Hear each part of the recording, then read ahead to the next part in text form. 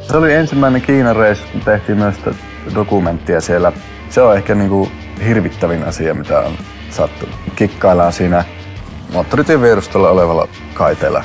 Ja siinä vähän on kaikkea pukkitappelua ja tällä. Ja horjahtaa sinne pimeyteen. Sitten mitä helvettiä, nytkö se tippui sinne. Ja sattuko pahasti? Kyllä sattu. Nostin lah- lahjetta ja luutorit tosta.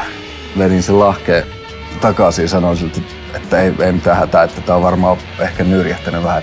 Yksi juttelee mukavia ja yksi kaataa viskiä suuhun ja sitten yksi joutuu tekemään sen tosi innoittavan jutun, että rusauttamaan se jalan suoraksi. Ja sitten otettiin rumpukapuloita ilmastotin teipillä ympäri. Ne loppupeleissä teki siellä joku hoitovirhe. Suomessa jotenkin operoitiin ihan uusiksi se jalka. Ja... Jossain vaiheessa kyllä, kyllä on vähän pelottanutkin. Peltiständit kaatuilee ja Oskari hyökkii bassari päälle. Just vähän kitaran kanssa silleen minua kohti. Sitten tuli silmäkulma ja siinä oli niin kuin erittäin hyvä kikka kyllä, kun sitä verta tuli niin perkeleesti. Se oli Kiinassa ja sitten siellä paikalliset tuli paikkailemaan soiton aikana sitten silmäkulmaa. Lähentää yleisön kanssa kontaktia.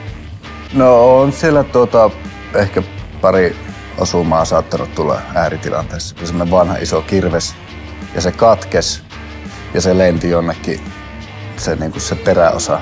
Itse asiassa niin kuin aika läheltä siitä niin eturivi jotakin mimmejä seuraava biisi ajatti jumalauta, mitä olisi voinut käydä.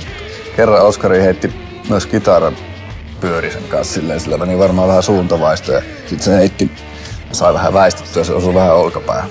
Hänessä on semmoista epäsuomalaista rokkukkoa ja semmoista röyhkeitä asennetta. Sopivasti mustalaisuuden.